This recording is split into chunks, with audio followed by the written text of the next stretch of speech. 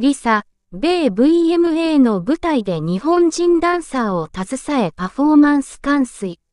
現地時間11日夜、ブラックピンクのリサが、米 MTV ビデオミュージックアワードでソロデビューを果たし New Woman featuring、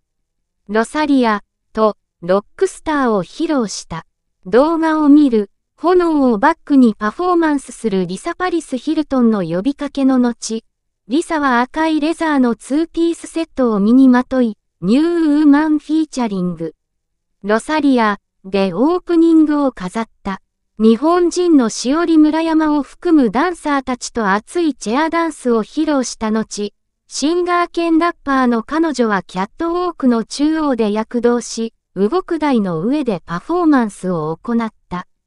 続く、ロックスターでは、炎の演出とともに、10人以上のダンサーが彼女を取り囲む中、私はロックスター、私はロックスターよ、と激しいステージングを披露した。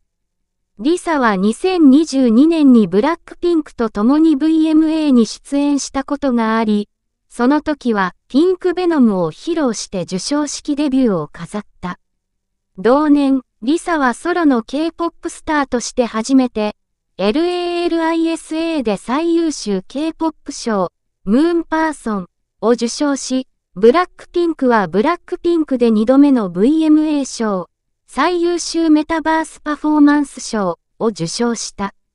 ブラックピンクは2020年に How You Like That で Song of the Summer を受賞しており、2023年にはピンクベノムで最優秀グループ賞と最優秀振付賞を受賞している。2024年、リサは今回のパフォーマンスとともに、ソロシングル、ロックスターで最優秀美術監督賞、最優秀振付賞、最優秀編集賞、最優秀 K-POP 賞の4部門にノミネートされた。リサは2021年に LALISA とそれに伴うシングルマネーでソロデビューした。それ以来3年間彼女はブラックピンクの活動に専念し、2022年のアルバムボーンピンクを引っ提げたレコーディング、リリース、ツアーを行った。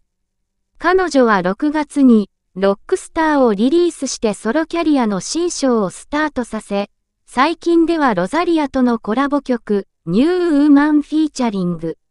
ロサリアをリリースした。リサは今月末、9月28日にニューヨークで開催されるグローバルシチズン2024のステージに立ち、音楽祭で初のソロパフォーマンスを披露する。このラインナップには、ポストマローンジェリーロール、ドージャキャット、ラウ・アレハンドロも出演する。